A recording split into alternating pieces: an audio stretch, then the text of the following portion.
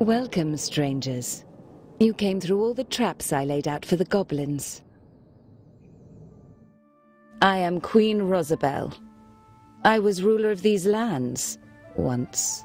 What do you know about these goblins? Goblins took over my realm many years ago, after the forest became wild and the kingdom was destroyed. Lady Queen, uh, do you know anything about a speaking flower? Or do you know why plants would keep growing wildly? I can tell you more, but first I require your assistance. Out there is a castle by the sea, the house of my fathers, where now the king of goblins sits, befouling their halls. Slay him and I will reveal all. You can keep any treasure you find in the castle.